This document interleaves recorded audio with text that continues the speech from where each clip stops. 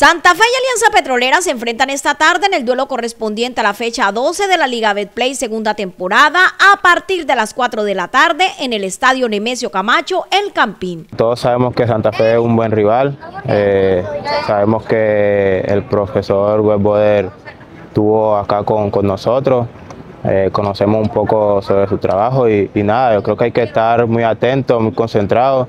Eh, dedicarse 100% al partido y, mantener un orden para sacar un resultado. Ambos equipos buscarán no repetir lo que hicieron en su último partido del torneo. Alianza Petrolera llega a este encuentro con una derrota por 1 a 5 ante Junior. Recientemente el equipo visitante tuvo resultados bastante diversos, dos victorias y dos derrotas en los que convirtió cinco goles y le han encajado 10. Santa Fe tiene buenos jugadores, eh, precisa de nosotros estar muy concentrados, eh, en, la fase, en la fase defensiva eh, que nos corresponde a, a los 11 jugadores, a los 11 que están en cancha, así como la fase ofensiva también nos involucra a todos.